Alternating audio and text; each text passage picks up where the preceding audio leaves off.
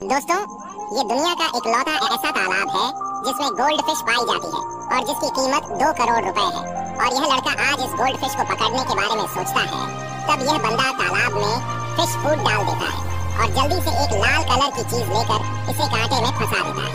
फिर इस नुकीले कांटे को तालाब के बीचों बीच फेंक देता है और वहाँ बैठकर गोल्ड फ़िश के आने का इंतज़ार करने लगता है। और तभी अचानक से इसके कांटे में कुछ खतरनाक चीज़ फंस जाता है। उसे कांटे में क्या फंसा।